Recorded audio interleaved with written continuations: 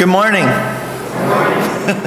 we welcome you on the 4th of July, but it is also the sixth Sunday after Pentecost. We welcome any visitors we have today. Please sign our friendship booklet, the little pad in the pews. Uh, members, please also sign that pad. If anybody knew Lorraine Muller, uh, she passed away yesterday. So her family will be on our prayers today. Our opening hymn is one of my favorite, and we're using my favorite verses, which are the original verses of Eternal Father Strong to Save.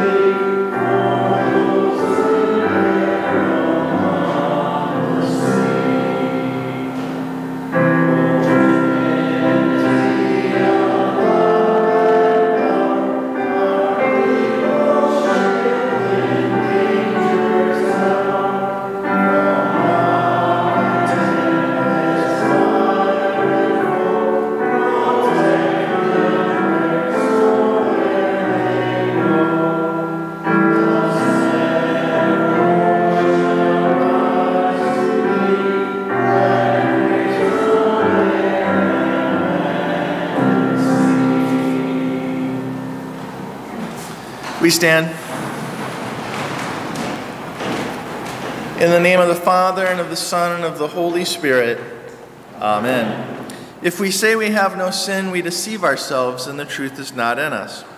But if we confess our sins, God, who is faithful and just, will forgive our sins and cleanse us from all unrighteousness.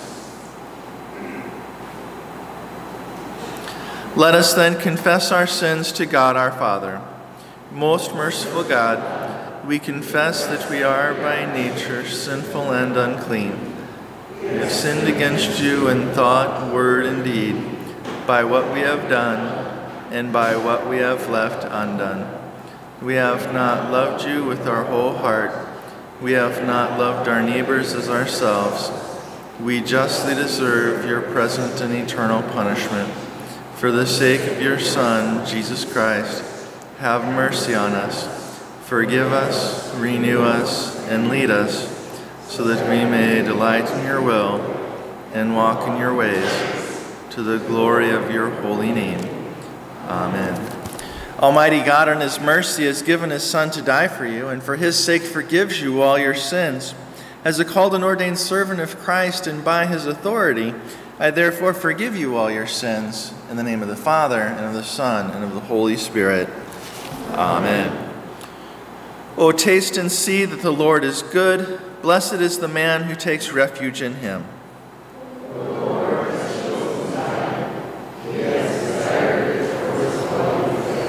This is my resting place forever. Here I will dwell, for I have desired it.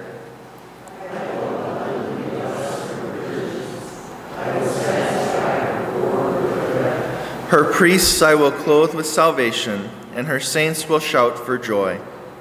Glory be to the Father, and to the Son, and to the Holy Spirit, as it was in the beginning, is now, and will be forever.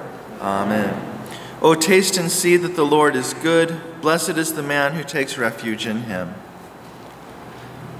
In peace, let us pray to the Lord. For the peace from above and for our salvation, let us pray to the Lord.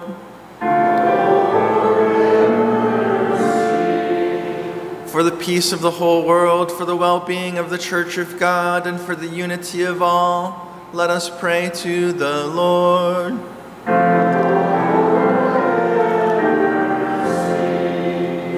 For this holy house and for all who offer here their worship and praise, let us pray to the Lord.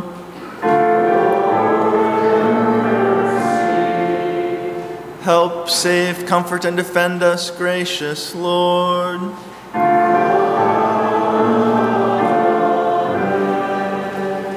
Glory to God in the highest, and peace to his people on earth.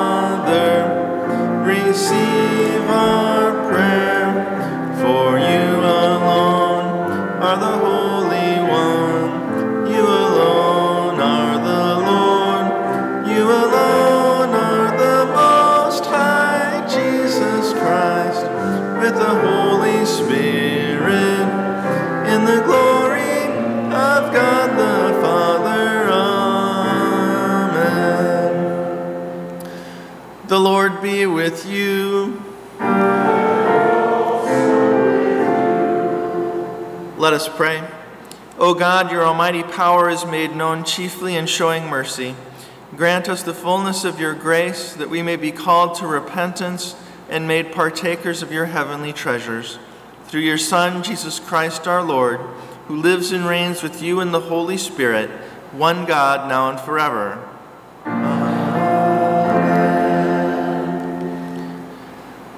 Okay, we're going to say the Pledge of Allegiance.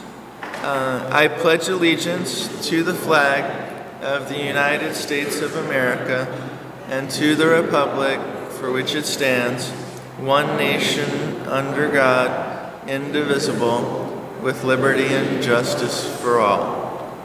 You may be seated. Good morning.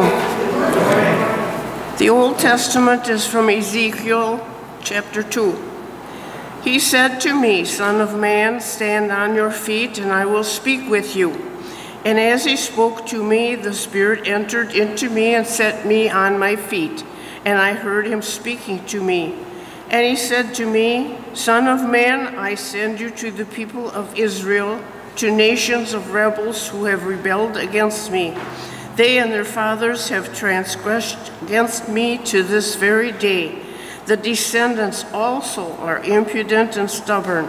I send you to them, and you shall say to them, Thus says the Lord God. And whether they hear or refuse to hear, for they are a rebellious house, they will know that a prophet has been among them. This is the word of the Lord. The epistle is from 2 Corinthians chapter 12. I must go on boasting, though there is nothing to be gained by it. I will go on to visions and revelations of the Lord. I know a man in Christ who 14 years ago was caught up to the third heaven.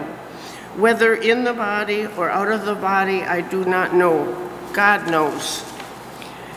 And I know that this man was caught up into paradise, whether in the body or out of the body, I do not know. God knows. And he heard things that cannot be told, which man may not utter. On behalf of this man I will boast, but on my own behalf I will not boast, except of my weaknesses. Though I, if I should wish to boast, I would not be a fool, for I would be speaking the truth. But I refrain from it so that no one may think more of me than he sees in me or hears from me. So to keep me from being too elated by the surpassing greatness of the revelations, a thorn was giving, given me in the flesh, a messenger of Satan to harass me, to keep me from being too elated. Three times I pleaded with the Lord about this, that I should that it should leave me. But he said to me, My grace is sufficient for you, for my power is made perfect in weakness.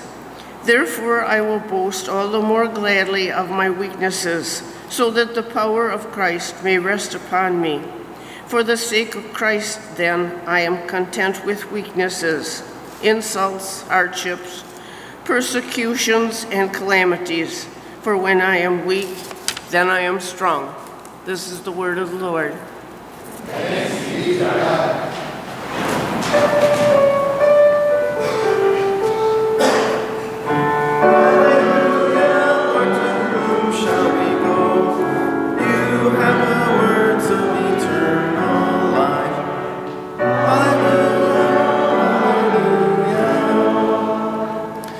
The Holy Gospel according to St. Mark, the sixth chapter.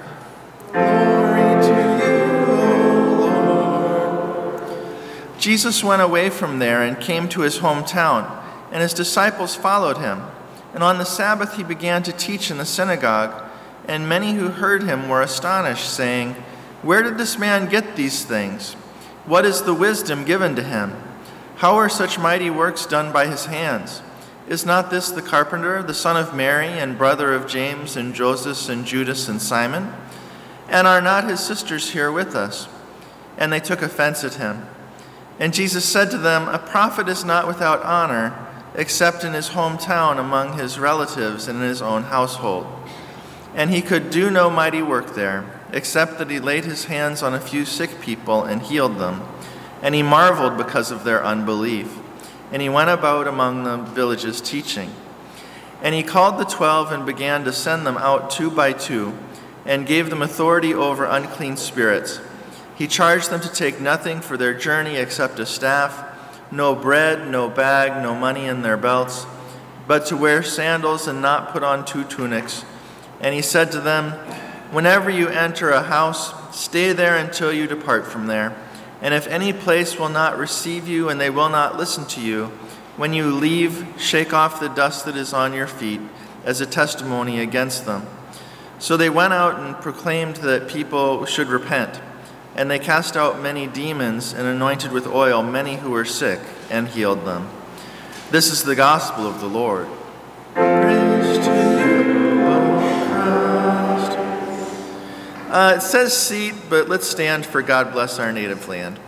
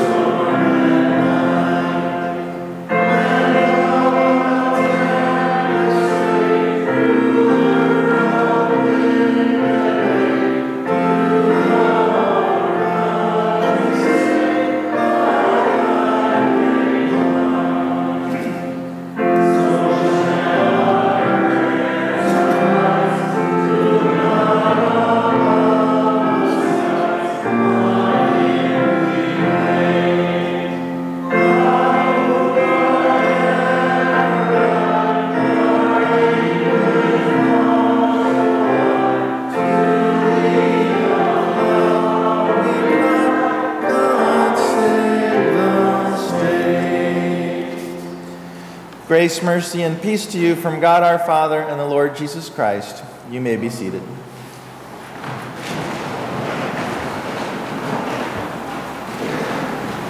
Okay, you're either going to love or hate this first paragraph. In the words of Garth Brooks, sometimes I thank God for unanswered prayers. Remember when you're talking to the man upstairs that just because he may not answer doesn't mean he don't care. Some of God's greatest gifts are unanswered prayers. If you were alive in the 1990s, you heard that song a lot. uh, when Garth wrote that, he was the co co writer of that song.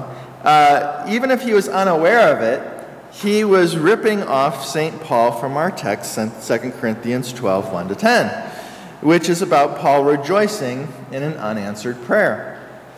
Paul's unanswered prayer was that he had a thorn in his flesh a messenger of Satan to harass me, to keep me from becoming conceited.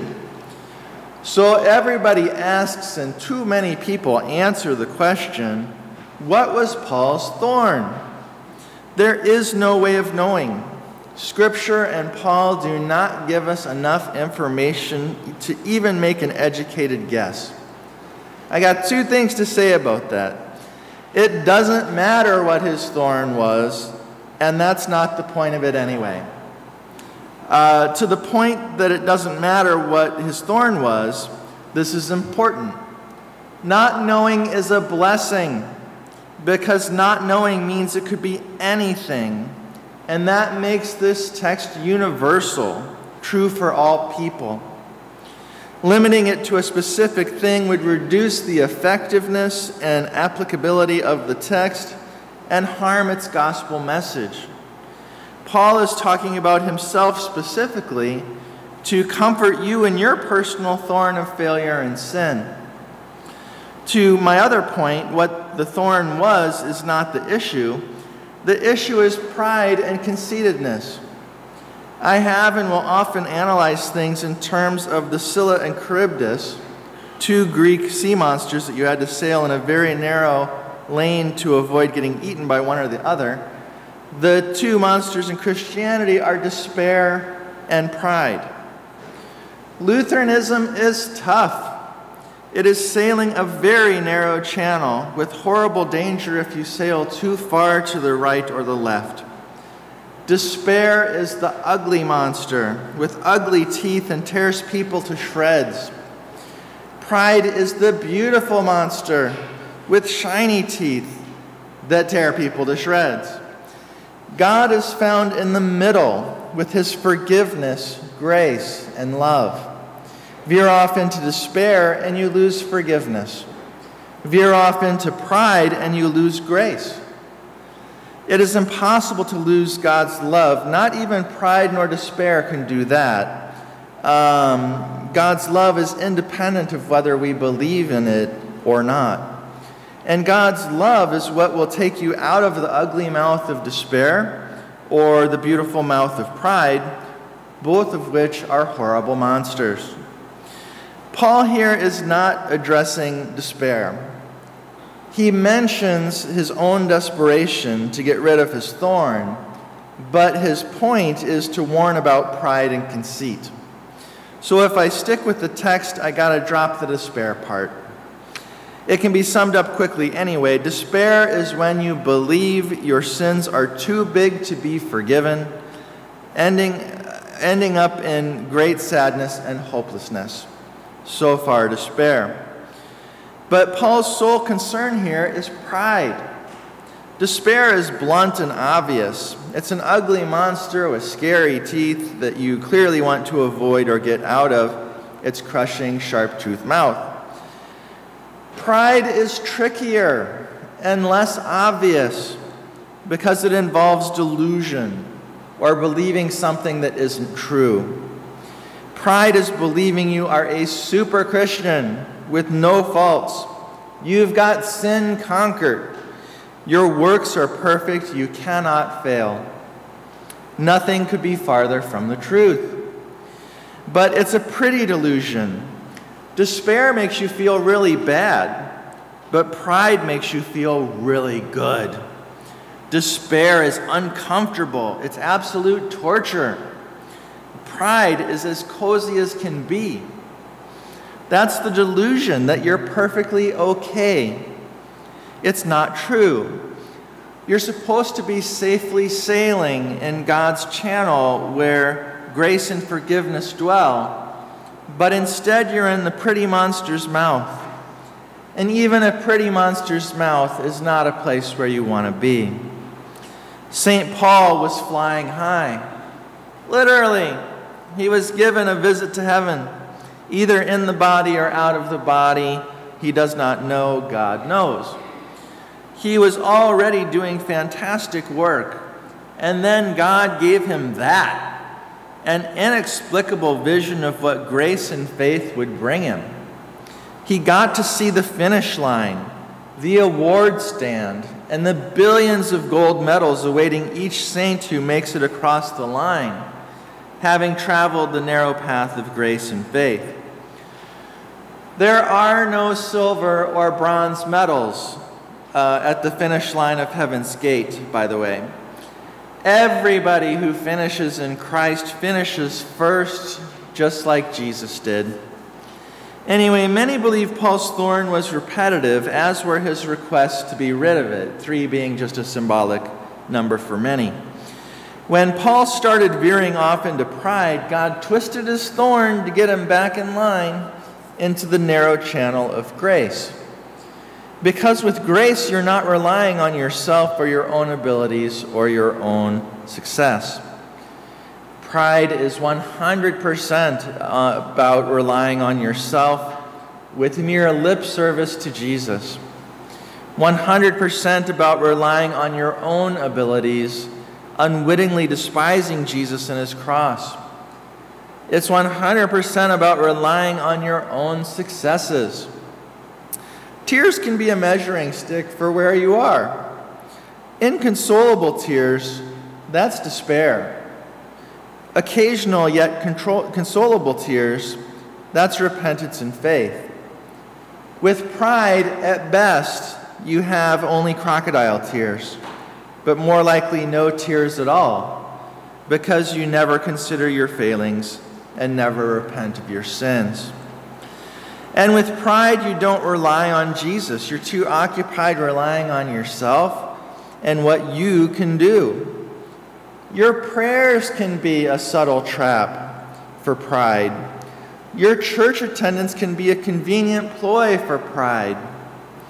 Those are the most dangerous pride traps because they're the prettiest, most godly seeming ways of utterly rejecting Christ and believing only in yourself. Your prayers can be a measuring stick for where you are. Despair has angry prayer, if any at all. The narrow channel of God has sincere prayers that ask for things, not just forgiveness, but also daily bread kind of things. Pride has prayers of self congratulation or thanks to God for making you such a wonderful Christian. The higher you climb, the farther you can fall. St. Paul climbed all the way to the third heaven. God gave him that gift, but he kept him humble. God gave him a thorn in his flesh. The lesson avoid getting a big head. Some say Paul's thorn was a really bad headache. That's pathetic. It's too little. Some say it was Paul blaspheming. That's going too far uh, Paul could not have simultaneously been an apostle and a blasphemer. But everything in between is fair game, even if you don't like to think Paul could have had certain sins. Everything except blasphemy, which is the unforgivable sin against the Holy Spirit, is fair game so that Paul's thorn could be the same as yours. Paul's thorn has to be your thorn for the gospel of this text to work. If Paul's thorn is your thorn, then Paul's conclusion is your conclusion, and it's a good one. You get the Word of God directly applied to you and your life, your every thought, word, and deed. God says to you, My grace is sufficient for you, for my power is made perfect in weakness. That comforted Paul, so it should comfort you. Paul had a bad thorn, a very messenger of Satan hitting him. The Greek word literally means to be given a, a, knuckle sandwich, to, to be hit with the closed fist with the knuckles in the face. uh, but Paul was still a Christian. Paul was still forgiven. Paul was still an apostle, arguably the greatest one. Paul was still saved because if he ain't in heaven, ain't nobody in heaven. St. Paul advises the narrow path of Jesus where you believe in him enough not to despair because you believe you're forgiven. And you love him enough not to become conceited with pride because Jesus paid for your sins on the cross, not you by your filthy rags of works. But remember, God says, My power is made perfect in weakness. We were saved by weakness. We weren't saved by a mighty army with tens of thousands of soldiers on horses who always win. No, we were saved by a single man who lost everything and was beaten to a pulp before being nailed to a cross. Weakness saved us, not strength. But with Jesus, weakness is strength. With Jesus, poverty is wealth. With Jesus, foolishness is wisdom, and the like. The Scylla monster of despair makes sense. You know your own sins and failings, so you despair. The Charybdis monster of pride makes sense. Just look at your works and prayers and church attendance. You are so wonderful. The narrow channel between them of full grace and true repentance and strong faith, and, mind you, good works done with the proper attitude of humbleness is the channel where God dwells and where salvation is found. I'm sticking with the waterway talk because the Christian life is a life in a boat that floats on waters that are occasionally rough. But Jesus is in that boat, asleep on a cushion, and he cares. Despair would have you doubt that. Pride would make you not care. Faith cares that Jesus is in your boat, and though he's sleeping, you believe he will wake up and save you when necessary and when the final time comes. Because Jesus' boat crashed into the cross where he died and then sailed as a funerary boat into a stone tomb. But in three days he woke up and saved us all. He knows about your thorn or thorns, plural. He cares. He forgives you. If he didn't forgive every thorn, then he might have been able to forgive Paul's thorn, but it would have stopped there. The forgiveness wouldn't reach you. Forgiveness only reaches you if Paul's thorn is possibly any given thing that you suffer from. Sin generally is universal. There's only 10 commandments and only 10 categories of sin we can do. But in the grace of God, forgiveness is universal. Anybody can receive it. Christ died for all. Christ died for all because if he left out even one person, the despairing would instantly assume that one person was them. So then, Paul's thorn is whatever you've got because if anything was excluded, you'd assume it was your sin. But I said I wasn't going to talk about despair.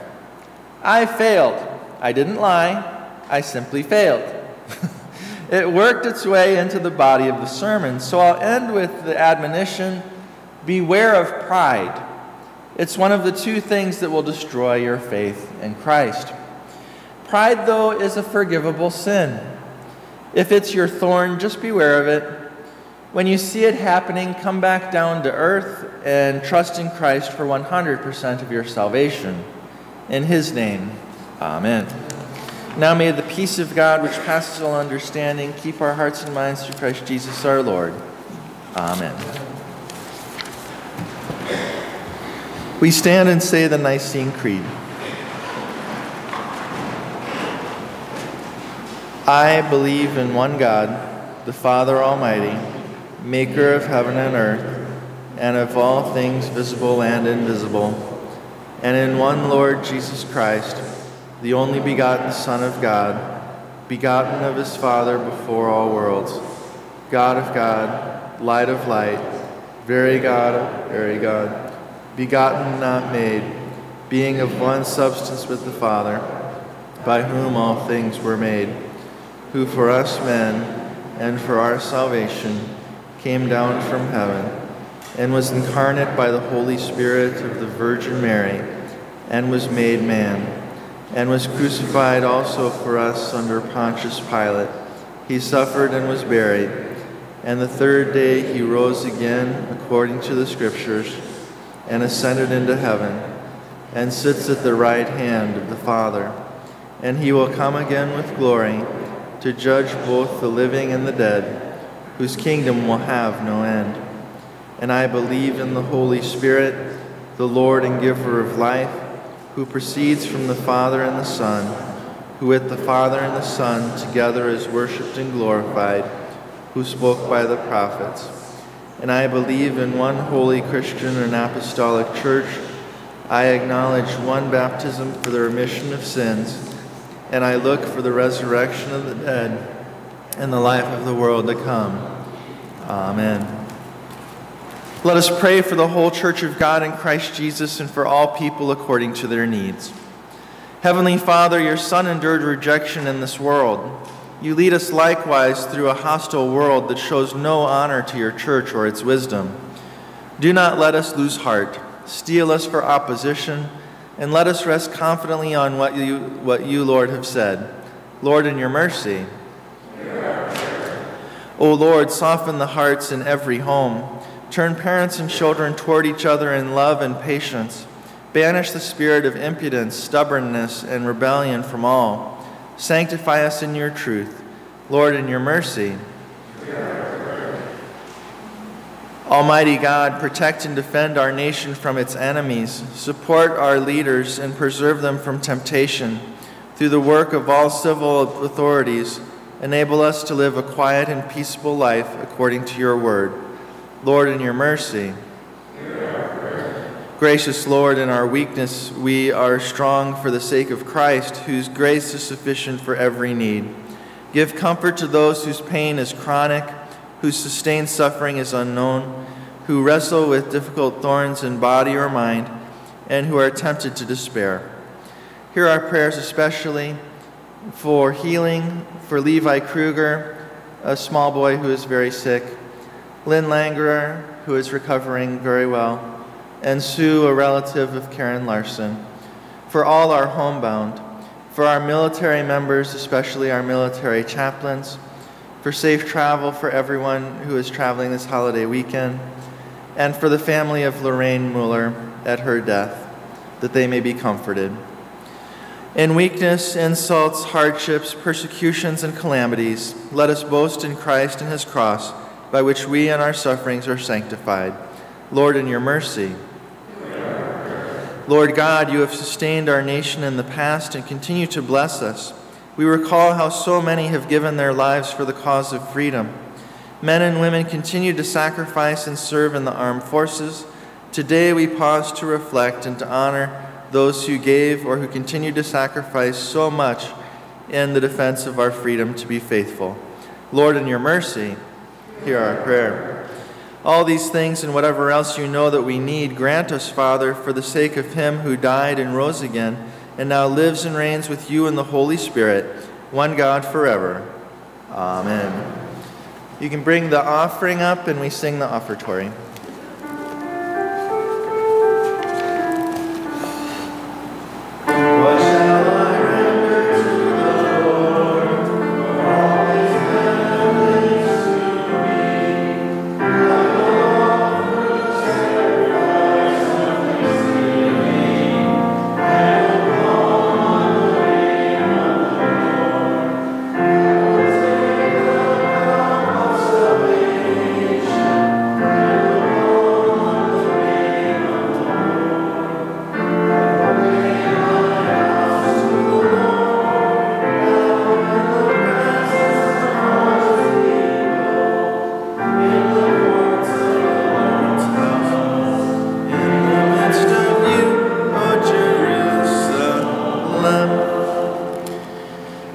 We pray as Jesus taught us Our Father, who art in heaven, hallowed be thy name. Thy kingdom come, thy will be done, on earth as it is in heaven. Give us this day our daily bread, and forgive us our trespasses, as we forgive those who trespass against us. And lead us not into temptation, but deliver us from evil. For thine is the kingdom, and the power, and the glory, forever and ever. Amen.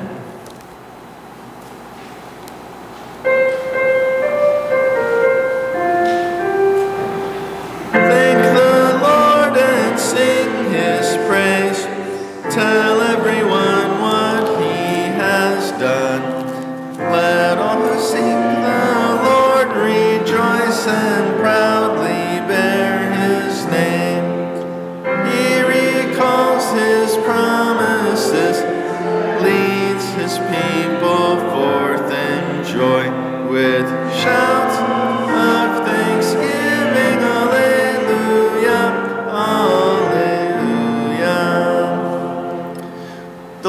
bless you and keep you. The Lord make his face shine on you and be gracious to you. The Lord look upon you with favor and give you peace. Please be seated.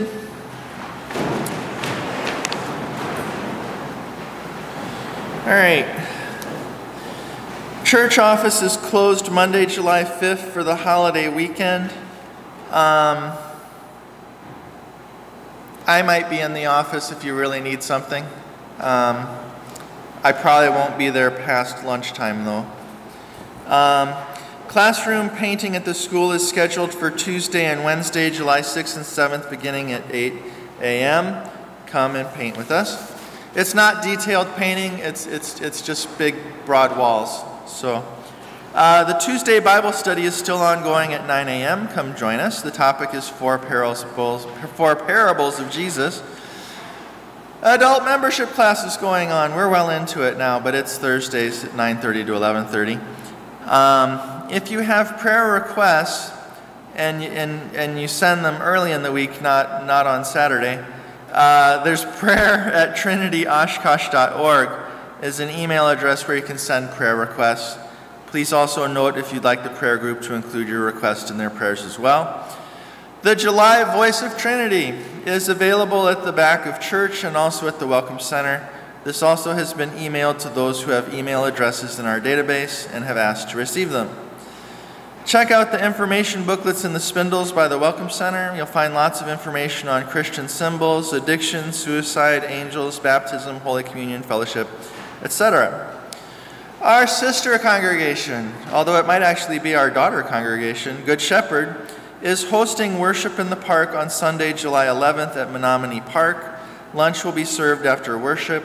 Please bring your own chairs. This is not to be confused with our worship in the park, which is Sunday, August 29th. The Reverend Robert Zick, uh, second vice president of the South Wisconsin District, will be our preacher. Uh, we will be celebrating our 165th year in ministry on, at both the school and the church. Our closing hymn is Onward Christian Soldiers.